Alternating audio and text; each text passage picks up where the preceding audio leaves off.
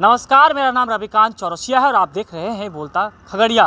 खगड़िया में triple murder 12 घंटे के दरमियान में जो है, जहाँ एक तरफ़ नीतीश कुमार बिहार में सुशासन की राज कहते हैं, सुशासन की सरकार है तो जिस तरह से धड़ल्ले से जो है अपराध बढ़ रहा है, इस पर कहीं ना कहीं सरकार जो है, सरकार के ऊपर सवाल खड़ा होना लाजमी है। हमारे साथ खास आज बातचीत में है जाप के नेता है जाप किसान सेल के प्रदेश अध्यक्ष मनोहर यादव जो खगड़िया के पूर्व चेयरमैन भी नगर परिषद के रह चुके हैं। मनोहर जी बताइए किस तरह से आप नज़र से देखते हैं कि बिहार में कितना सुशासन की सरकार देखिए सर पूरा सुशासन नाम का बिहार में कोई चीज़ नहीं रह गया है।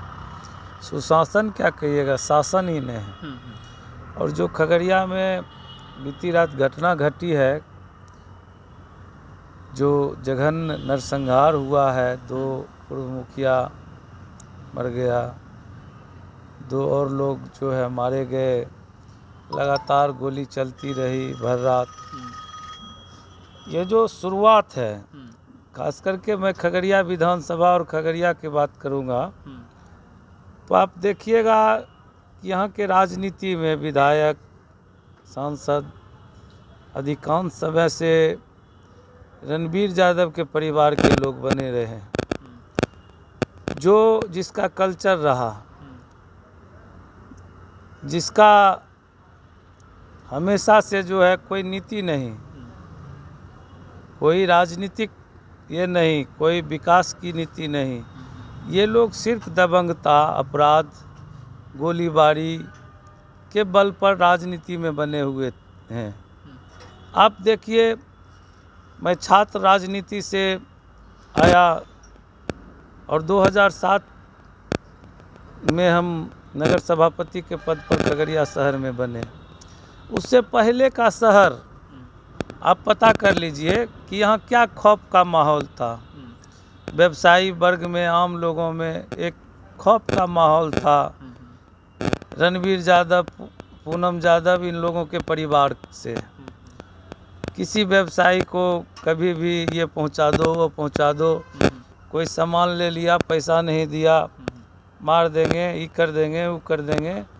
मतलब एक दबंगता वाला और आपराधिक जो परंपरा था, उस परंपरा को जो है, शहर से तो हम लोग समाप्त कर दिए। 2007 के बाद ये लोग शहर से समाप्त हो गए।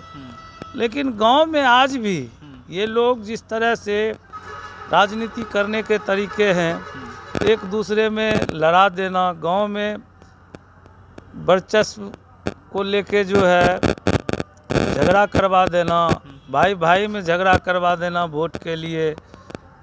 और इसी से उनको फ़ायदा होता है। बार बार चूँकि दबंगों का शासन जब गाँव में रहेगा तब तो इसके लिए इन जैसे नेताओं के लिए काम करेगा लोग।